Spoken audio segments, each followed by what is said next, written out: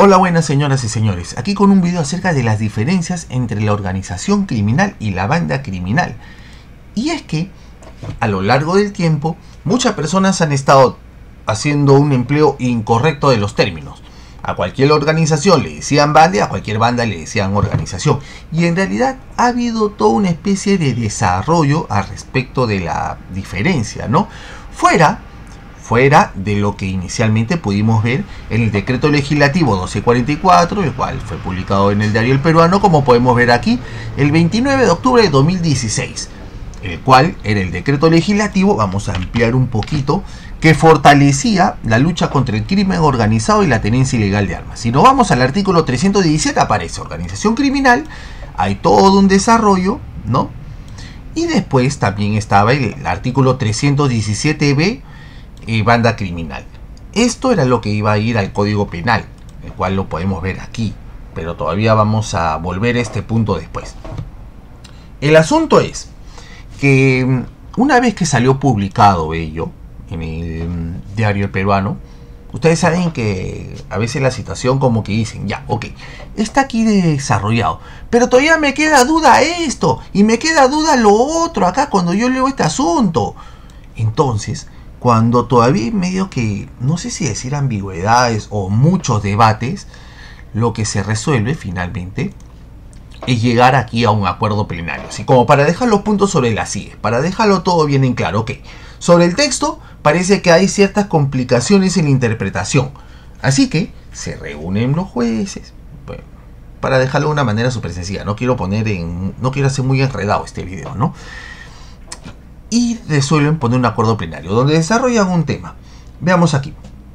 Acuerdo plenario 8-2019, con fecha 20 de septiembre de 2019. Esta parte es una nota de LP Derecho, ¿no? Y se establecieron importantes conceptos sobre lo que es banda criminal y organización criminal, ¿no? Ahora, eh, hubo, podemos ver, bueno, 15 honorables jueces supremos, acá según indica la redacción, ¿no? Donde se analizaron 30 fundamentos pero para el autor de esta nota, el fundamento 20 es el que le llamó la atención. Vamos a volver en breve a este fundamento 20. Después vamos a volver. Como les digo, hay 30. No vamos a tocar acá los 30 ni a patadas.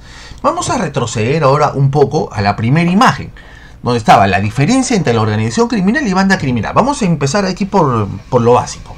Veamos. Y más o menos que queden claro, pero hay más cositas para ampliar. Y para ello luego vamos a volver aquí. Veamos. Diferencias entre organización criminal y banda criminal. A ver. Primero, organización criminal. Su estructura es piramidal, con niveles estratégicos y operativos. Estructura piramidal, como podemos ver aquí, ¿no? Y también eh, niveles estratégicos y operativos. Es decir, tú te vas a encargar de esto, tú te vas a encargar de lo otro, tú vas a hacer logística, tú vas a hacer economía, así como si fuera una empresa. Así tal cual. Organización criminal. Ahora, hay muchas personas quienes tienen el concepto, entre comillas, muy clásico sobre lo que es una organización criminal de que mm, de que es tipo, no sé, pues como el padrino algo así. Ha variado mucho.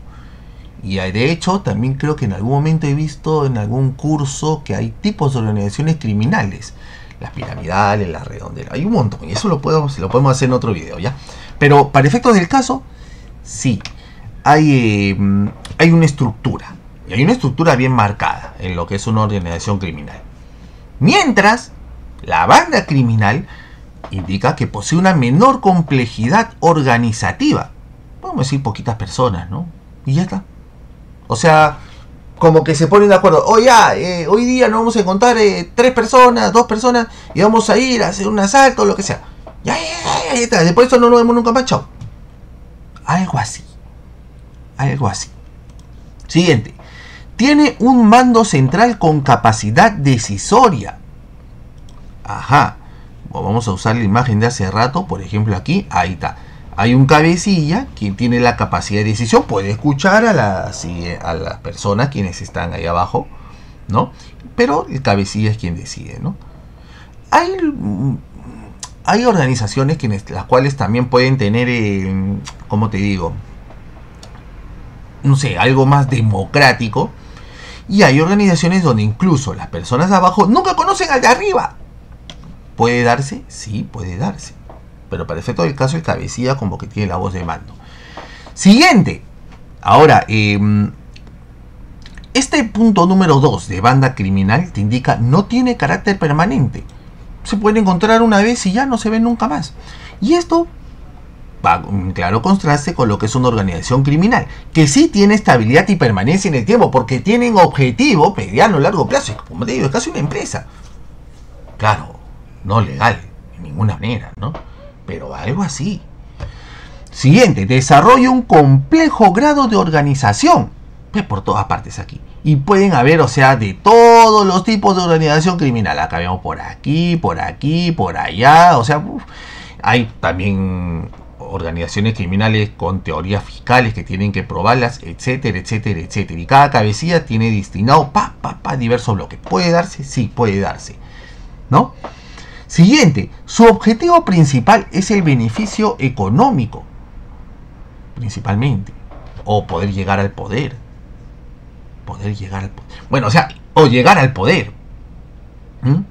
Que de una u otra manera también le tendría beneficio económico. Alguien me diría, oye, ¿y la banda criminal también quiere un beneficio económico? Sí, pero acá estamos hablando de un beneficio económico macro, más grande, ¿no? Siguiente, banda criminal. Su proyecto delictivo es la delincuencia común. Robo, hurto, asalto, etcétera, ¿no? La organización criminal son más hasta delitos económicos, te podría decir, ¿no? O sea, ya delitos un poquito más, por decirlo de alguna forma. No, tú no vas a ver a la organización criminal, a esto de saco y corbata, pucha, no sé, pues asaltando un carro. Algo así. Algo así. No tiene una estructura definida la banda criminal. No, pues no, no lo tiene. Los tres se reúnen, o los que formen parte, que no son muchos en realidad, para llevar a cabo ese delito y se acabó la gracia. Siguiente, su miembro no tiene roles establecidos. No estoy tan de acuerdo. O sea, claro, hay un rol, ¿no? Pero no es tanto como lo de la organización criminal. Tú vas a ser eh, tramitado, tú vas a hacer enlace. No, no, no. Simplemente ya nos encontramos. Tú, vete, listo, chau. Algo así. Y tiene que ver con el tema de la permanencia a lo largo del tiempo. Entre la diferencia entre la banda y la organización criminal. Siguiente, presta servicios organizaciones de mayor jerarquía. Ahí está. Este tema es interesante. ¿Por qué? Porque puede darse que hayan, a ver, vamos a buscar una, estructura por aquí, porque hay diversos tipos de estructuras eh, de organizaciones criminales. A ver, organización criminal, estructura. Vamos a buscar estructuras. Estructuras de organización criminal que a ver si encuentro una por aquí del tipo que les comento. Una que sea particular. Ya, vamos a usar esta, por ejemplo, ¿ya? Donde las personas de aquí no conocen a las de acá abajo. Y quizás uno de estos lleva y está al mando, quizás, o tiene contacto con una banda criminal. Y la banda criminal de acá abajito está sujeta a intereses que llega a una organización criminal. Algo así. Entonces alguien podría preguntarme, entonces las bandas criminales pueden ser parte de una organización criminal? Tema debatible, ¿no? Tema interesante. Podría formar parte de sus intereses, pero no es que elementalmente sea una parte fija. Porque al mismo tiempo debemos tener en claro que las bandas criminales no tienen el carácter permanente. Podría formar parte en algún momento, pero con la misma vienen y se van no entran dentro de, esta, de este complejo grado de organización. Mm, esa es la cuestión. Se constituye de manera espontánea. También la banda criminal. Ahí va la cuestión. Ahora, ahora, si nos ponemos a revisar un poco más ahora en el Código Penal, aquí ya, organización criminal te dice, el que promueva, organice, constituya o integre, ojo con los verbos rectores, una organización criminal de tres o más personas. ¿Puede haber una organización criminal de dos personas o más? No, de dos o menos, no, no puede. Tres o más para organización criminal. Con carácter estable, permanente o por tiempo indefinido. Ojo que tienen que estar confluidos todos los requisitos. O sea, ¿qué pasa si hay... Eh, si es, si hay algo de carácter estable, permanente o tiempo indefinido, pero solo son dos personas, ya no es organización criminal porque no es tres o más. ¿Mm? Que de manera organizada, concertada o coordinada se repartan diversas tareas o funciones destinado a cometer delitos. ¿Dónde están los delitos? En el parte especial del Código Penal. Hay otros lugares también, pero principalmente hay. Hay otros lugares también, pero bueno. Será reprimido con pena privativa de libertad, no menor de 8 ni mayor de 15 años. Las penas son duras. Y con 180 a 365 días multa. ¿Ok? La pena será no menor de 15 ni mayor de 20 años y con 180 a 365 días multas Em, en los siguientes supuestos, cuando el agente tuviese la condición de líder, jefe financista o dirigente de la organización criminal, cuando tiene un cargo, un rango así top dentro de la organización criminal, te cae el agravante. Y te pueden poner no menos de 15 años ni más de 20 años. Ojito ahí. Cuando producto del accionar delictivo de la organización criminal, cualquiera de sus miembros causa la muerte de una persona o le causa lesiones graves a su integridad física o mental. Es decir, si está esta organización, ojo, ¿ah? y alguno de los miembros causa la muerte o un severo daño, ¿ve? o lesiones graves a la integridad física o mental de una persona, ¿ves? Te va a caer también el agravante. Ojito. ¿Ves? Cuando la gente tuviese la condición de líder, jefe, financista o dirigente, también te cae. ¿Ves? Cuando producto del accionar delictivo de la organización criminal, cualquiera de sus miembros causa la muerte de alguien también o le causa lesiones graves. Ojito ese detalle. 317b, banda criminal es más cortito. El que constituya o integre una unión de dos o más. Acá puede ser, ojito. Y me dice, oye, ¿y si yo estoy solito? No, pues no, pues ya, no hay ni organización ni banda, eres tú nomás, pues no seas malo. ¿Mm? Dos a más, si son dos, sí. ¿Puede haber una banda criminal de tres o de cuatro? Sí, puede haber una banda de cuatro. Pero aquí ya varía un poco.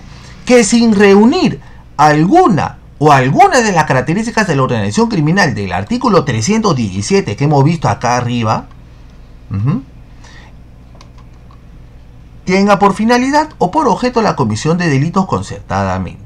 Será reprimido con pena privativa de libertad, no menor de 4 ni mayor de 8 años y con 113, 180 a 365 días multas. Es decir, si por ejemplo hay 6 personas, vamos a aplicar un poquito, 6 personas, pero mm, por ejemplo aquí, digamos, no tiene un carácter estable o permanente, entonces sería banda criminal.